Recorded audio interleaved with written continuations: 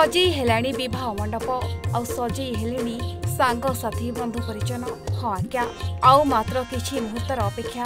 ଆଉ ଏହାପରେ ଦେବ ଦମ୍ପତିଙ୍କର ପଡ଼ିବ ହାତଗଣ୍ଠି ପୁରା ରୀତିନୀତି ଅନୁସାରେ ସମ୍ପନ୍ନ ହେବ ବିବାହ। ଯାହାକୁ ନେଇ ଚଳଚଞ୍ଚଳ ହୋଇଉଠିଛି ଆଖଣ୍ଡଳମଣିଙ୍କର ଶୈବପୀଠ। ବନ୍ଧୁ ଆରଡି ପୀଠ ବାବା ଆଖଣ୍ଡଳମଣି ମନ୍ଦିରରେ ପ୍ରସିଦ୍ଧ ଶିବ ବିବାହ ଉତ୍ସବ ପାଇଁ ଉତ୍ସବ ମୁଖର ହୋଇ ଉଠିଛି। ମନ୍ଦିର ପରିସର ଓ ପୀଠକୁ ରଙ୍ଗୀନ ଆଲୋକରେ ସୁସଜ୍ଜିତ କରାଯାଇଥିବା ବେଳେ ଫୁଲରେ ସଜ୍ଜିତ କରାଯାଇଛି ପୁରା ମନ୍ଦିର ପରିସର। ଗତକାଲି ବୈଦିକ ରୀତିନୀତି ଅନୁସାରେ ବର ପିତା ଓ କନ୍ୟା ପିତାଙ୍କ ପକ୍ଷରୁ ଦେବ ଦମ୍ପତିଙ୍କର ମଙ୍ଗଳ ପାଗ ନୀତି ସମ୍ପନ୍ନ କରାଯିବ। ଏଥିପାଇଁ ସମସ୍ତ ପ୍ରସ୍ତୁତି ଚୂଡ଼ାନ୍ତ ପର୍ଯ୍ୟାୟରେ ପହଞ୍ଚିଛି। ଆଜି ବୈଦିକ ରୀତିନୀତି ଓ ଲୋକାଚାରରେ ଦେବ ଦମ୍ପତିଙ୍କ ବିବାହ ଅନୁଷ୍ଠିତ ହେବ। ଲୌକିକ ରୀତିନୀତି ଅନୁସାରେ ଦେବ ଦମ୍ପତିଙ୍କ ମଙ୍ଗଳ ପାଗ କର୍ମ ସମ୍ପନ୍ନ କରାଯିବ। ଏଥିପାଇଁ ଭୋର ଚାରିଟାରେ ଦ୍ୱାର ଫିଟାଯିବା ପରେ ମଣି ବାବାଙ୍କର ମଙ୍ଗଳ ଆଳତୀ ଘର୍ଷଣ ଲାଗି ଜଳାଭିଷେକ ନୀତି ସମ୍ପନ୍ନ ହେବ। ପରେ ବର ପିତା ଓ କନ୍ୟା ପିତାଙ୍କ ପକ୍ଷରୁ ଏକ ସୁସଜ୍ଜିତ ବିମାନରେ ମନ୍ଦିରରୁ ବାବାଙ୍କ ଚଳନ୍ତି ପ୍ରତିମା ହର ଓ ମାତା ପାର୍ବତୀଙ୍କ ଚଳନ୍ତି ପ୍ରତିମା ଗୌରୀଙ୍କୁ ନିଜ ଘରକୁ ନେଇ ଲୋକାଚାରରେ ମଙ୍ଗଳ ପାଗ ନୀତି ସମ୍ପନ୍ନ ହୋଇଛି। ତେବେ ବିବାହ ଉତ୍ସବରେ ରାଜ୍ୟର ବିଭିନ୍ନ ପ୍ରାନ୍ତରରୁ ପାରମ୍ପରିକ ବାଦ୍ୟ ଓ ନୃତ୍ୟ କଳାକାର ଗତକାଲି ଆରଡି ପୀଠରେ ପହଞ୍ଚିଛନ୍ତି।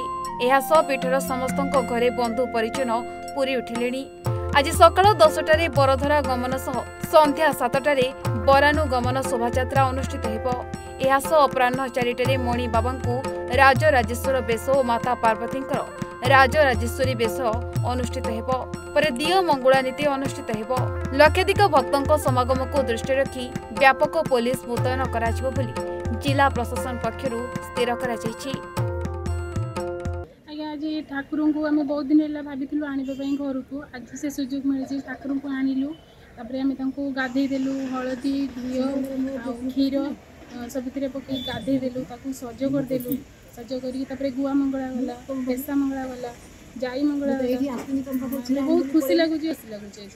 রাজা রাজেশ্বর বেশ এবং রাজা রাজেশ্বরী বেশ অনুষ্ঠিত হব তাপরে অপরাহ্নরে দিওমঙ্গলা নীতিকান্তি যে লোকাচার রয়েছে বৈদিক নীতি রীতিনীতি রয়েছে সেই অনুসারে দিওমঙ্গলা নীতিকান্তি যে গ্রাম দেবতীঙ্ক নিকটক যাইকি উভয় পক্ষ কর্তৃপক্ষ এবং কন্যা পক্ষ সম্পাদন করবে তাপরে সন্ধ্যা সাত ঘটিকার শ্রীজু বর বেশে বাহারে আপনার জাঁচান বরানুগমন শোভাযাত্রা মানে অতি আড়ম্বর আড়ম্বর সহ অনুষ্ঠিত হব এতে ଓଡ଼ିଶାର ବିଭିନ୍ନ ସାଂସ୍କୃତିକ ଦଳମାନେ ବିଭିନ୍ନ ଜିଲ୍ଲାର ଯେଉଁ ସୁପ୍ରସିଦ୍ଧ ସାଂସ୍କୃତିକ ଦଳମାନେ ଏଥିରେ ଅଂଶଗ୍ରହଣ କରିବେ। ତେଣୁ ବିବାହ ଉତ୍ସବ ମୋଟ ଉପରେ କହିବାକୁ ଗଲେ ସମସ୍ତଙ୍କ ସହଯୋଗରେ ହଜାର ହଜାର ଭକ୍ତଙ୍କର ସମାଗମ ହେବ ପଚାଶ ହଜାରରୁ ଉର୍ଦ୍ଧ୍ୱ ଭକ୍ତଙ୍କର ସମାଗମ ହେବ। ଚାନ୍ଦବାଲିରୁ ସୁକାନ୍ତ ପଟ୍ଟନାୟକଙ୍କ ରିପୋର୍ଟ ଓଡ଼ିଶା ଭାସ୍କର।